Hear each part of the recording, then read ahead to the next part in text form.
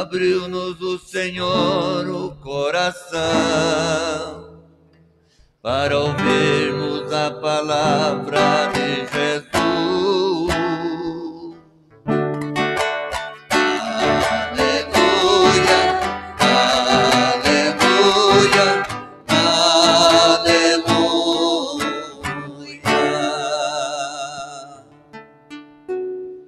Senhor esteja convosco. Ele está no meio de nós. Proclamação do Evangelho de Jesus Cristo segundo Lucas.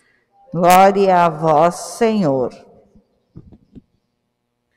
Naquele tempo, disse Jesus a seus discípulos: Se um de vós tiver um amigo e for procurá-lo à meia-noite e lhe disser: Amigo, empresta-me três pães, porque um amigo meu chegou de viagem e nada tenho para lhe oferecer. Se o outro responder lá de dentro: Não me incomodes, já tranquei a porta e meus filhos e eu já estamos deitados. Não me posso levantar para te dar pães.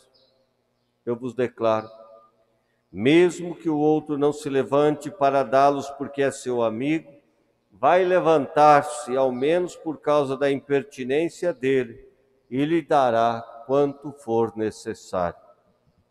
Portanto, eu vos digo: pedi e recebereis. Procurai e encontrareis.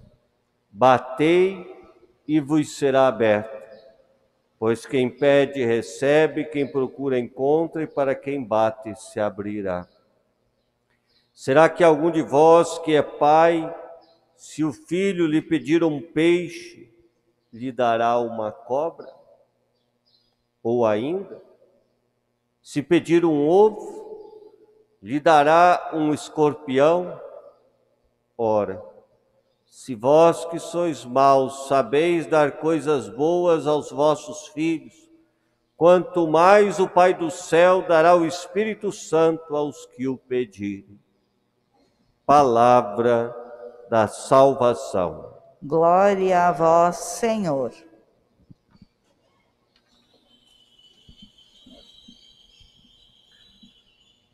O tema de fundo, sem sombra de dúvidas, é a oração. Jesus nos conta essa parábola falando deste que recebe uma visita. Pode ser que o amigo não o atenda pela amizade, mas então o atenderá pela impertinência. E é interessante como que Jesus, também em outras passagens, nos ensina a sermos, vamos assim dizer, impertinentes diante de Deus quando se trata de apresentar as nossas necessidades. Jesus conta-nos esta parábola, tem a outra da viúva diante do juiz injusto, também a viúva vai lá, vai lá, vai lá, até que o juiz, não porque queria fazer justiça, não porque temesse a Deus ou aos homens, mas por causa da impertinência, da insistência daquela mulher, acaba por atendê-lo.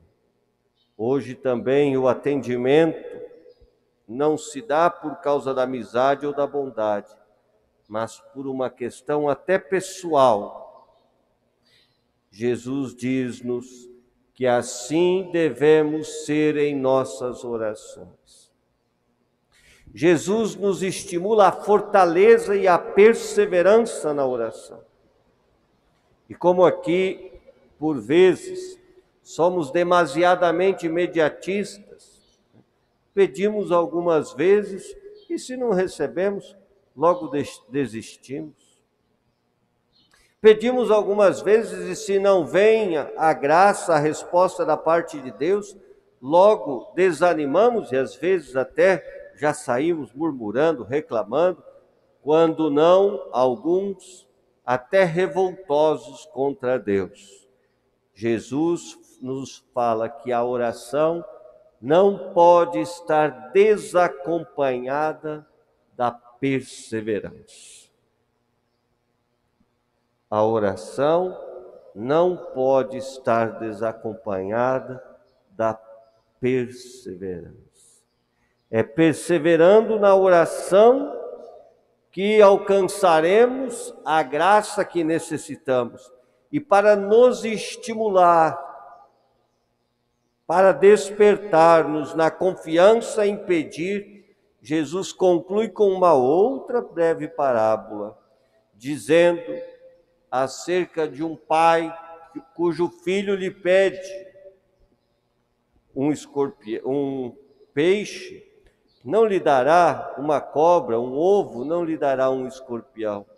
Ora, se um pai, humanamente falando, ou uma mãe, humanamente falando, marcados por todas as fragilidades humanas, sabe dar coisas boas a seus filhos, Jesus fala: tanto mais, quanto mais o Pai que está no céu.